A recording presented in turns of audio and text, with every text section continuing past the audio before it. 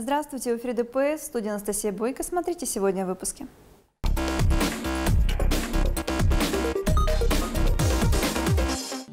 Долгожданное продолжение. Власти выделили деньги на строительство трассы в сторону Алтайского края.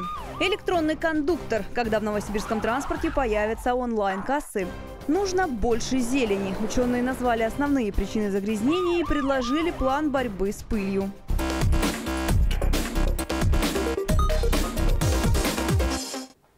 Зритель программы ДПС стал участником ДТП, в котором второй автомобилист решил скрыться.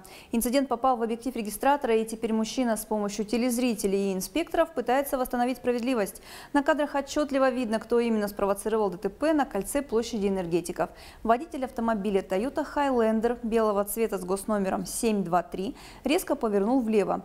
На этот маневр не успел среагировать наш герой, его машина врезалась в грузовичок. Если вы знаете владельца Хайлендера или стали свидетелями этого ДТП, позвоните по телефонам 8 913 943 3604 либо 232 1300.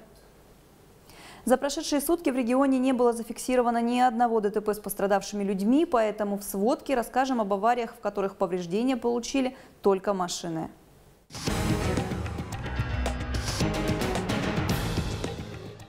Мерседес и Мазда столкнулись на парковке у торгового центра. Джип выезжал на небольшой перекресток. Водитель не предоставил преимущества проезда Демия. В результате у хэтчбека оторвалось зеркало, появились вмятины на крыле и боковой части корпуса, а у внедорожника деформирован бампер и изогнут капот.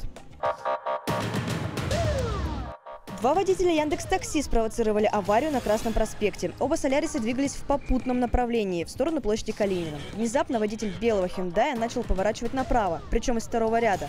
Таксист на черном седане вывернуть руль не успел. Из-за спора по вине участников пришлось вызывать инспекторов ДПС.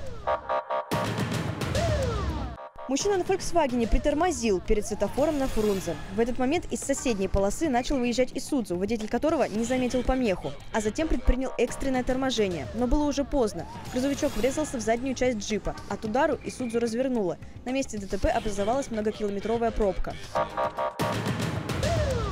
Владелец «Шевроле» невнимательно посмотрел на информационные щиты, установленные на Шамшурином. Поэтому выехал на перекресток под знак «Уступи дорогу». Избежать столкновения с Астрой не удалось. У машин вмятины и царапины. Седан Kia Rio и пассажирская Toyota разбились в небольшой аварии в Кировском районе. По данным Аваркома в социальных сетях, водитель микроавтобуса превысил разрешенную скорость. Из-за этого не смог вовремя остановиться. Toyota врезалась в корейский седан. Задняя часть легковушки вряд ли подлежит быстрому ремонту.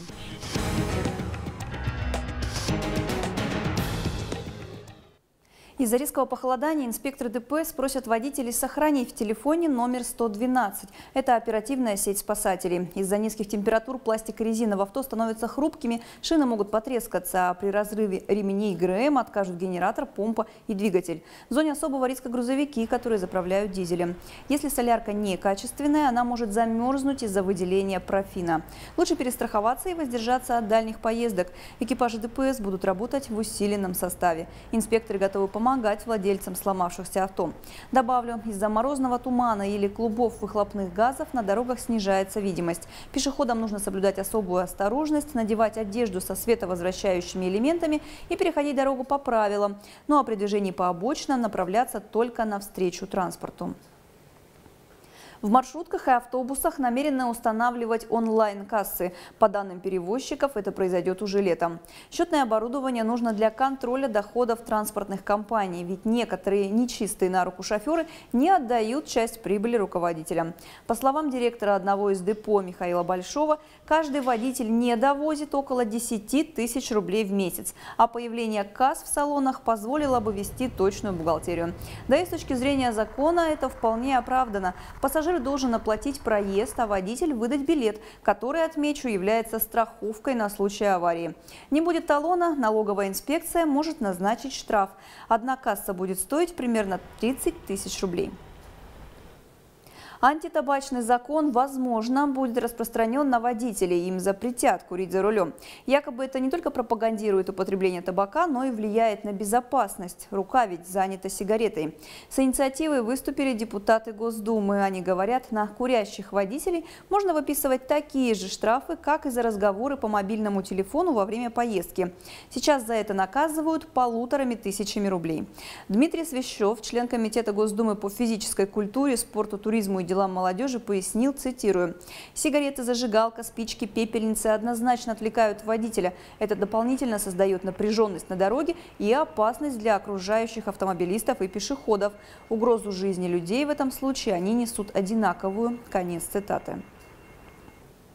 К смарт-остановкам будут предъявлять новые требования. Отныне умные площадки должны быть оборудованы тревожной кнопкой, системой распознавания речи и осветительными приборами. Соответствующее распоряжение накануне подписал глава Новосибирска. Добавлю, сейчас в мегаполисе три таких остановки – на Ленина, у филармонии и у ЦУМа. До 2023 года появится еще шесть. Их создадут к открытию молодежного чемпионата мира по хоккею. На всех объектах установят видеонаблюдение, USB-разъемы для телефонов с системами Android и iOS, а также модули Wi-Fi. Наличие мониторов с расписанием пассажирского транспорта обязательно. По данным мэрии, все остановки будут сделаны из антивандальных материалов, а внешний вид конструкции конструкции должен вписываться в архитектурную концепцию города. Строительство трассы в сторону Алтайского края продолжат уже этой весной. Власти выделили больше двух миллиардов рублей. С наступлением тепла специалисты начнут работы на восточном обходе. Эта магистраль должна будет разгрузить выезды Новосибирска и соединить северный обход с Чуйским трактом. Протяженность дороги составит 80 километров. Первый участок от Академгородка до региональной трассы Новосибирск-Ленинск-Кузнецкий начнут достраивать уже в ближайшие месяцы. Напомню, проект был временно заморожен из-за отсутствия финансирования, а до 2023 года дорожники планируют закончить и четвертый этап стройки до границы с Алтайским краем. Открыть новую дорогу могут в 2028 году. Эксперты назвали причиной загрязнения воздуха в Новосибирске. Всему виной износ дорожных конструкций и песк-соляная смесь, с помощью которой борются с гололедом. 50% загрязнений воздуха именно из-за этой смеси, 40% это износ бордюрных камней, тротуарной плитки и только по 5% приходится на стройки и выхлопные газы. На самых крупных улицах города, таких как Большевистская, Красный проспект, Ипподромская и Богдана Хмельницкого, концентрация пыли превышена в 100 раз. Ученые рассказали, что мелкие частицы пыли вместе с алюминием оседают в легких человека. В организм тех, кто живет или работает вблизи крупных дорог, проникают еще оксид марганца и железа. По словам экспертов, пескосоляную смесь нужно полностью заменить на бионорд. Реагент уменьшает объемы снега в два с половиной раза и экологически безвреден. Также стоит поднять бордюры и увеличить озеленение вдоль дорог. Самый экономный вариант реконструкции обойдется в 262,5 рубля за квадратный метр. Чиновники пояснили, что таких денег в бюджете города пока нет. Добавлю, бороться с пылью на улице города в этом году будут 13 вакуумных машин-пылесосов. Раньше их было только 7. В сеть попало видео, герой которого – новосибирский лихач, попытавшийся проехать по пешеходной зоне. На кадрах видно, как водитель внедорожника объезжал пробку по тротуару. Но, увидев металлическое ограждение, вернулся на проезжую часть, чуть было не задев попутный кроссовер. Позже автомобилист снова выехал на тротуар и отправился в сторону правого берега. Комментаторы в социальных сетях назвали такого мужчину «торопыгой». И еще один новосибирский лихач попал в объектив камеры. На этот раз гонщиками оказались водители троллейбусов. Шофер 23-го маршрута попытался обогнать попутный электробус, водитель которого в ответ только прибавлял скорость. Оба шофера забыли, что контактная линия у них общая. Как результат ДТП. Информации о пострадавших нет, но добавлю, за прошлый год в городе произошло 125 аварий с участием общественного транспорта. 6 человек погибли и 163 получили травмы. За январь 2019 года в Новосибирске зафиксировано уже 7 ДТП, 12 пассажиров травмированы.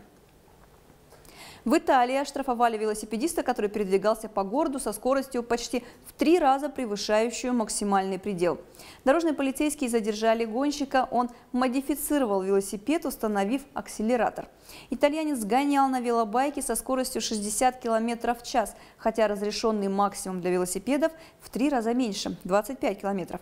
Иначе средство передвижения рассматривается уже как мопед. Тогда на нем должны быть госномера, а у владельца права специальной категории. Полицейские конфисковали велосипед и выписали мужчине штраф в размере 5000 евро. На этом я с вами прощаюсь. Не забывайте прислать свои истории, вопросы и видеофайлы на почту dps.test Адрес указан внизу экрана. В студии работала Анастасия Бойко. До скорой встречи в эфире.